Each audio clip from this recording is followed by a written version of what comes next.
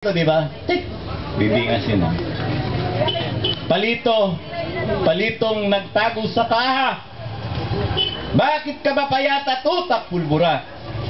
Di pwedeng basait, wala kang halaga. Date pag nabasay, di ka magbabaga. Tularan mo akong tupik na maliit. Sa boting marangya ako'y nakasilid. Ang tinga ng ngipi aking inaalis, di tulad mong salot, manunog ang hilig.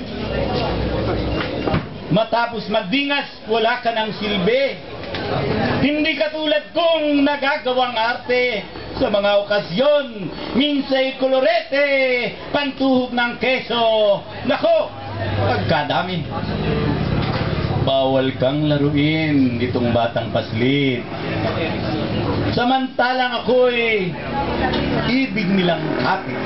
Ah, maraming salamat po at mabuhay po ang Nayong Gono at ang ah, kamakataan. Ah, narito po yung grupo ko ng kamakataan na ah, Poet Fair Group, si Danny, si Rose Ija at saka si Kiko Montesenya na kapapanalo lang po sa tulaan. Salamat po. Magandang magandang gabi po.